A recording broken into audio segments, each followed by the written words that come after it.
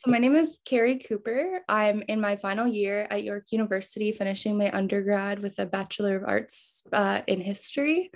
Um, and then in the fall, I'll be starting school at Fanshawe College to do para- the paralegal program.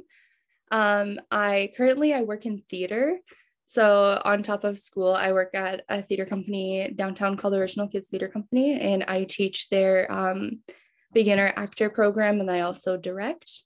Um, and yeah, and I kind of like on the side, like I'll work in like coffee shops or whatever to like you know make money. When were you first diagnosed with ADHD? I think I was like in the generation that was like right before people kind of recognized ADHD, but they recognized something was off. So, like growing up, um, I got the comment from all of my teachers like, wow, she's really great. If only she would apply herself, or she's really great. If only she would stop talking.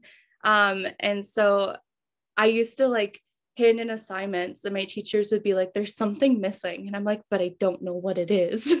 Um and it's just because like i got so i was so disorganized and stuff. And like in my brain like i sure i still struggle getting like all of what's here down to paper. Um and so i never like went out and actively sought out an adhd diagnosis. I had struggled with anxiety and so i was seeing a psychologist or psychiatrist for anxiety and they were like hmm there's something else going on here. And I was like, oh. And I was in grade, I want to say grade 10 or 11. Um, yeah, so that kind of was my when it first happened. Then it all kind of clicked and it made sense. Like I have a really big thing with noises. Like I always have. Like if someone chews like near me, I literally like I can't even describe it. The chew like it's it's awful. I get so angry. Um, so it made sense definitely like growing up. And then when I got a diagnosis, um, I didn't necessarily start treatment right away because I was like, oh, it's whatever, like ADHD. Um, and then it wasn't until this past like two or three years when I was really struggling with school. I was like, again, my professor, she like took me aside. She was like, like what I said before, she's like, you're really smart. You are able to converse really well, but your written work is not matching that. And I don't know why. And I'm like, oh, I think I've heard this before. I think I get it. So it wasn't for the like the last few years that I was like, okay, let's let's do this. And then yeah, my friend lent me a book and then yeah, game changer. What are some of the obstacles you have faced because of your ADHD? There's so many. Um, I guess a big problem that I had was um, I guess like having relationships with people and my friends. Um, mostly because I struggle so hard to continue my friendships when they're not like right there in front of me. It's so hard for me. And I feel so bad because I think about these people like all the time. Like, I think of my one friend who lives in Ottawa, for example. Like, every time I see pizza, I'm like, oh my gosh, that's when we used to get pizza. And I think of her like often. And she's someone who means so much to me. And I really respect and look up to her but I struggle so hard to like reach out. Um, and I think that's just like the problem. Like one of the problems with ADHD is like if it's not right there, like a toddler, like it's gone, like it's not there. Um, so that's one of my problems for sure. I think another big problem I have had was kind of like accepting that I had ADHD, I guess, and like actually asking for help. Um, I didn't want to be put on medication. I was like, oh, okay, it's whatever, it's fine. Um, I didn't want to ask for accommodations. I still really struggle asking for accommodations, like specifically at school, because I'm like nervous of like what my professor will think of me. Like, will they think I'm just doing it for attention when it's like I'm struggling? um, so I think that's like a big thing as well. Um, and again, just like like I guess part of like ADHD from what I've researched is like the whole sensory like um problem. And like I can't eat with other people very often because it the noise just like bothers me. Like i have to like sometimes go into another room. And so just like those type of obstacles like just maintaining friendships and like having the accommodations that i need to succeed have been really really tough. After diagnosis did you seek treatment at first i started um i didn't get put onto a medication right away like i didn't get put on a stimulant um I got put on another one. And it was okay. Like it helped a lot, a little bit in high school. Um, and then I got to university and I was like, yeah, I don't need this. Um, and then just stopped. like I don't know what I was thinking. Um, and then so I was completely off my ADHD medication, had no treatment, had no accommodations, like nothing. Um, and I the long story has nothing really to do with ADHD. Almost got expelled from York uh, so came back to my hometown for a few years. Um, and then my friend who also has ADHD was like, ah, I think you have this. And I'm like, oh, it was diagnosed in high school, actually. Um, and so that's when I kind of started my treatment. Um, I forget what the book was. I, it's like this really good ADHD book. I forget. Um, but I read it and I was like, oh my God, that's me. Like everything to do with like, I switched my major a bunch of times. I was like, struggled with my friendships i struggled with all of these different things and like it's all like it all pointed to adhd and it was like in this book and i was like felt like i was finally like reading something from someone who like got me and i was like i don't feel so alone um and then so i talked to my doctor and i was like listen remember that time this happened and she was like yes i recall um and then so she we worked out a new medication and so i got i got put on a stimulant and I felt like I was putting on a pair of glasses. Like everything changed. I'm like, what? Um, and so and then I was able to go back to school. I've gotten like nothing but like 80s, uh, which is crazy. Like this is me growing up and like me just like doing my best, like ah, you know, C's Caesar pass and stuff. Um, and then so now I've been like getting almost like straight A's and stuff, which is crazy. But I think it's to do a lot with the help with like me acknowledging my like disability and also this medication has been life-saving. So yeah. How has your experience been in educational spaces?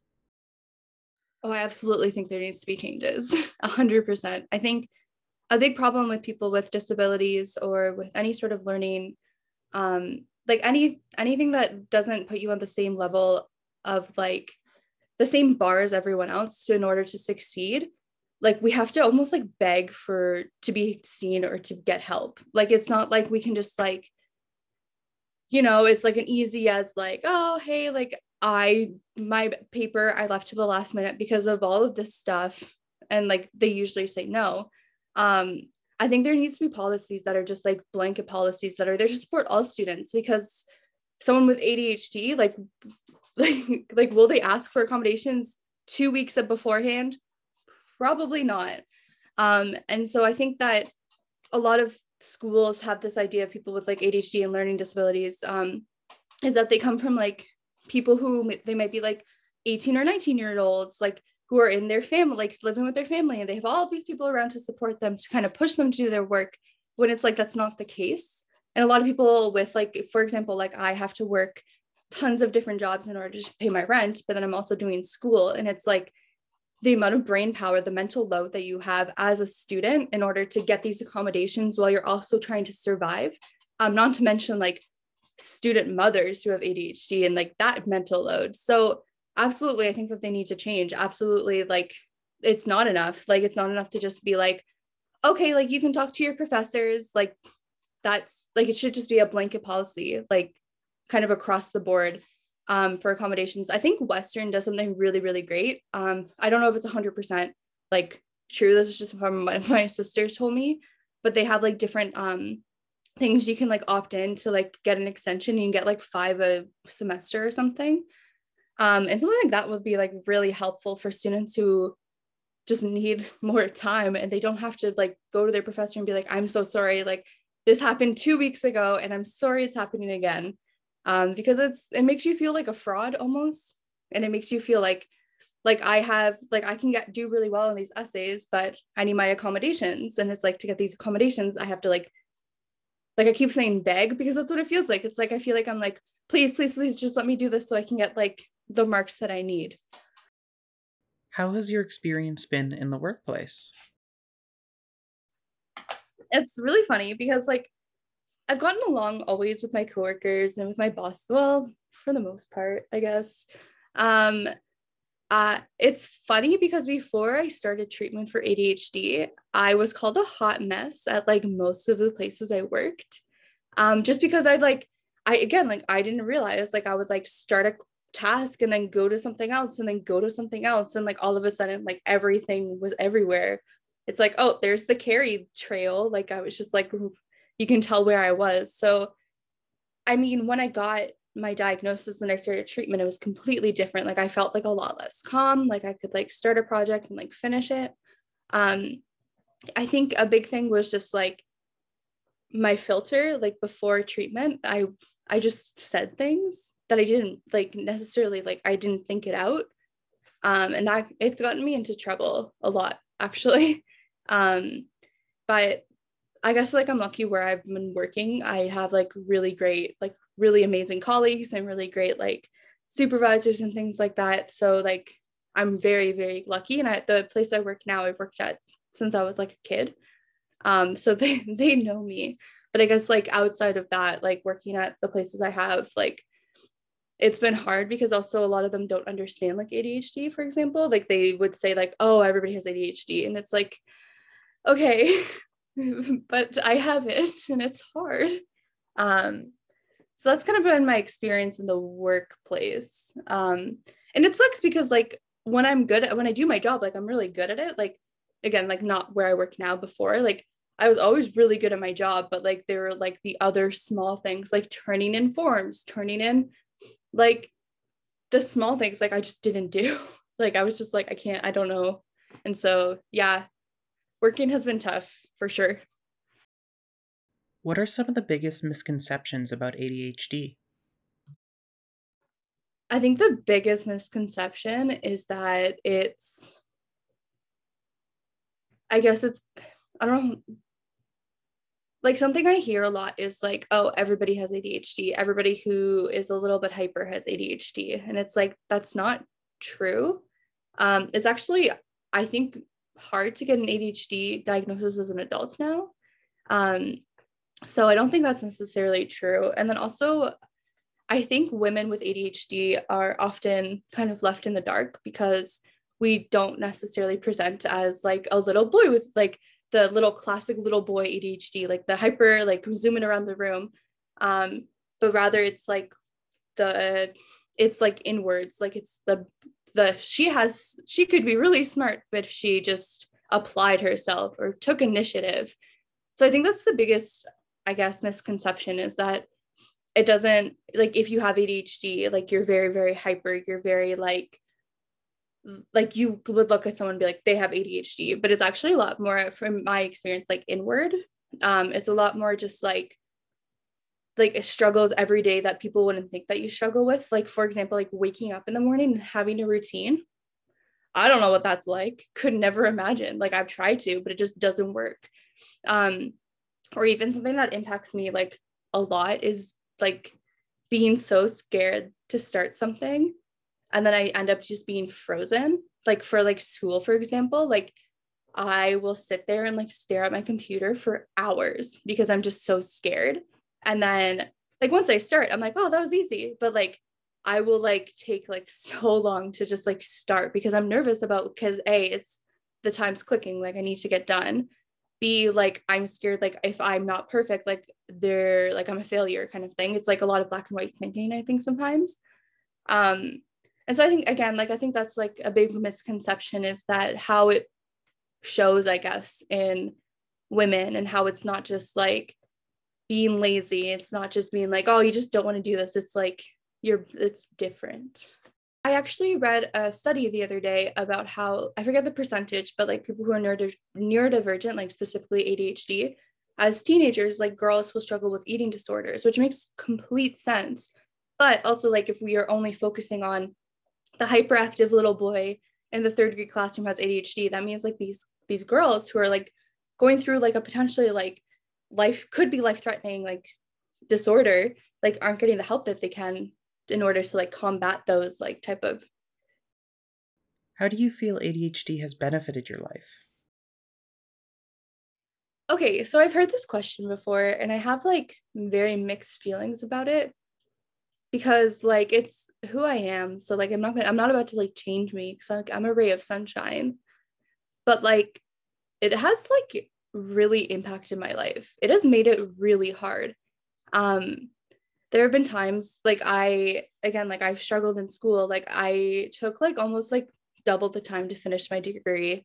I have hurt a lot of people in my life like because of me like ADHD was a part of it but because I didn't know like all of these things so for me to be like it's benefited my life and try to make it into like a happy kind of story like feels really fake because like it hasn't like I feel like I can only function now because of the treatment I'm on like I can function to the same level as like my peers and stuff um I mean the it's benefited me in a way that I've gotten to connect with other people with ADHD to be like, ah, oh, you too, like I get it.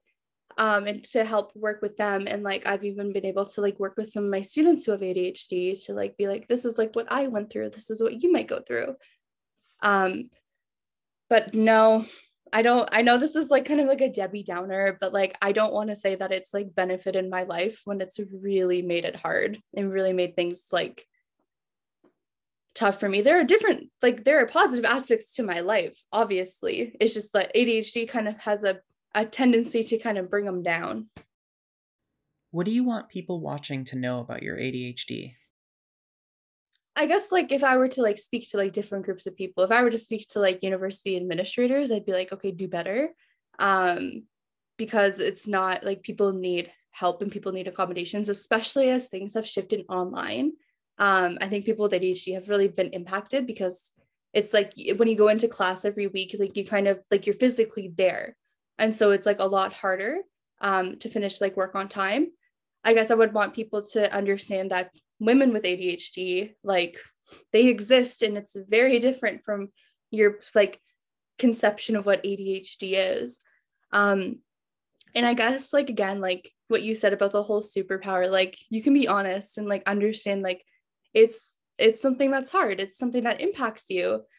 Um and you don't have to hide that. You don't have to hide the fact that it's a bad thing because again kids are going to be uncomfortable. Kids are allowed to feel uncomfortable um and like sometimes we have to go through these uncomfortable truths in order to get the help that we need so that we can like be able to get 80s in university and be able to go on and have like strong careers and stuff